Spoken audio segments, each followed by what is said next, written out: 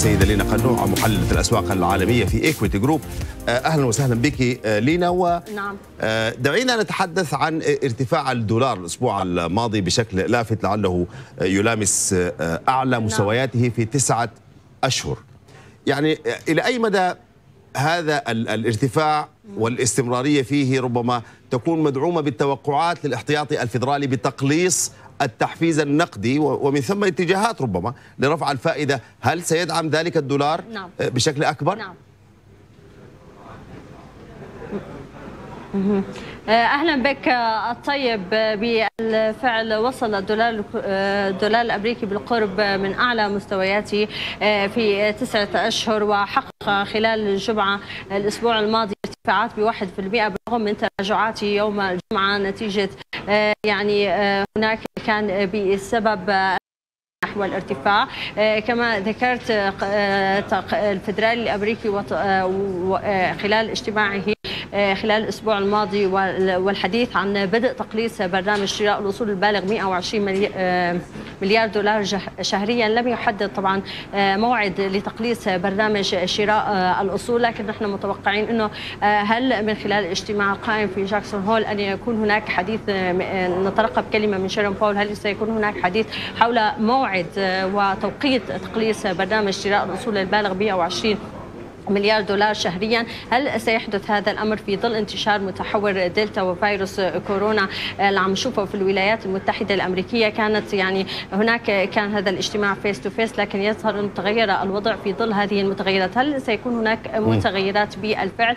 أو يعني أصبح لابد منه نتيجة نتيجة التحفيزات والتسهيلات التي قد قدمتها يعني الولايات المتحدة الأمريكية للتعافي الاقتصادي بعد أن مر نعم. يعني خلال الجائحة والتداعيات الاقتصادية التي حصلت فهل بالفعل حان الوقت لتقليص تلك التحفيزات في ضوء البيانات الاقتصادية وبيانات الوظائف صحيح. الأمريكية القوية التي جاءت خلال الشهر الماضي.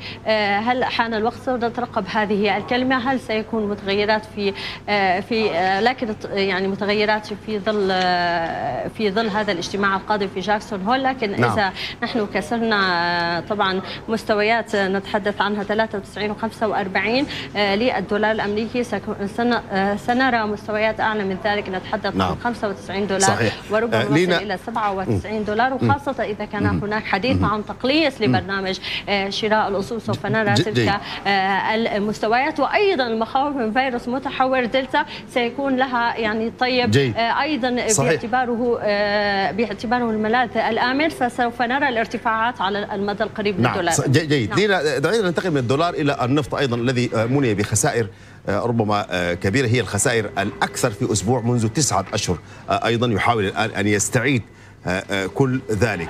ما هو الاتجاه المتوقع للنفط في ظل المعطيات الحالية؟ نعم بالفعل كما ذكرت طيب يعني أسعار النفط تراجعت بشكل قوي خلال الأسبوع الماضي نتيجة التوقعات بتباطؤ الطلب العالمي وخاصة يعني كما ذكرت وكالة الطاقة الدولية هناك توقعات بأن يكون الطلب العالمي على النفط وخاصة الطلب على الوقود خلال الربع الثالث والربع الرابع وخاصة أنه الفيروس أيضا متحور دلتا والإغلاقات الاقتصادية من الدول المستهلكة الكبرى للنفط من دول آسيوية مثل الصين وغيرها من الدول الأخرى. تقوم بإجراءات التقييد فهي هي التي بالأول هي التي ساعدت أسعار النفط نحو الارتفاع الآن مع إجراءات التقييد التقي... إجراءات التقييد. فالمخاوف الآن أصبحت متزايدة في ظل إجراءات التقييد والمخاوف من تباطؤ الطلب على النفط وخاصة خلال الفترة القادمة. لا ننسى انه أوبك بلس بدأت برفع تدريجي. أيضا هذا يؤثر على أسعار النفط ومتحور دلتا هو العامل الأكبر وربما رغم هذا الانعكاس اللي عم نشوفه اليوم الارتفاعات نتيجة التراجعات التي شهدناها الحادة خلال الأسبوع الماضي فهذه الارتفاعات تعتبر منطقية وإيجابية بعد الخسائر الحادة لكن التوقعات ما زالت أن يكون هناك في ضغط على أسعار النفط خلال الفترة القادمة في ظل أنه ما زالت الضبابية تحول حول انتشار متحور دلتا وخاصة يعني إذا كان هناك إجراءات تقييد لن تكون إغلاقات اقتصادية كالإغلاقات التي شهدناها طبعا نعم. خلال الجائحة لأن نحن ما زلنا عم نشوف إجراءات على على على ذكر الإغلاقات ما زلنا هناك سيطر الوضع إشارات واضحة على نعم نعم يعني على ذكر الإغلاقات جيد نعم. وصلت الفكرة على ذكر الإغلاقات وتزايد الإصابات في متحور الدلتا نحن نتوقع بيانات مهمة فيما يتعلق بمديري المشتريات في القطاعات الخدمية والصناعية. يعني إلى أي مدى هذه البيانات من الممكن أن تنسجم مع الإغلاقات التي تحدث مع تطورات دلتا في تقديرك؟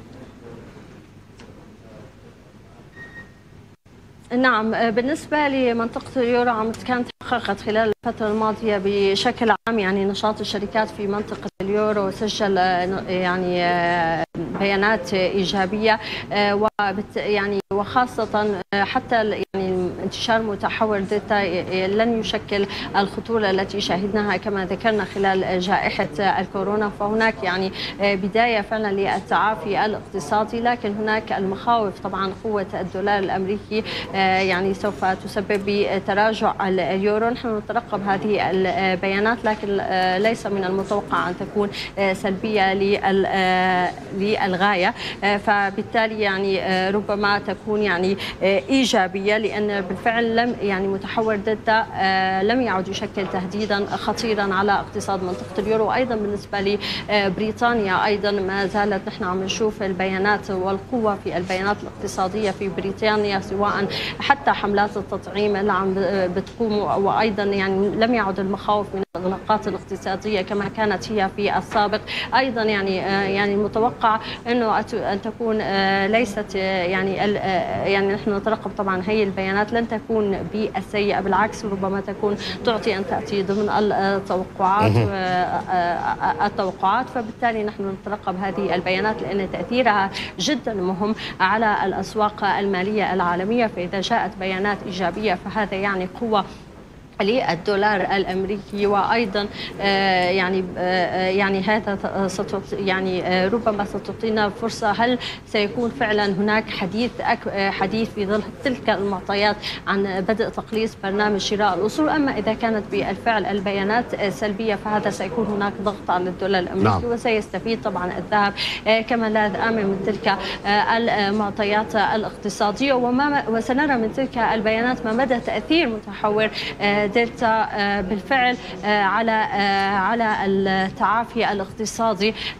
العالمي. فبيانات بالفعل مهمة جدا لمؤشر مديري المشتريات هذا اليوم سواء من أوروبا وبريطانيا والولايات المتحدة الأمريكية. نحن نترقبها عن كثب. أيضا بيانات الناتج المحلي الاجمالي في الولايات المتحدة الأمريكية من المؤشرات الهامة التي صحيح. نتابعها في هذه في هذا الأسبوع.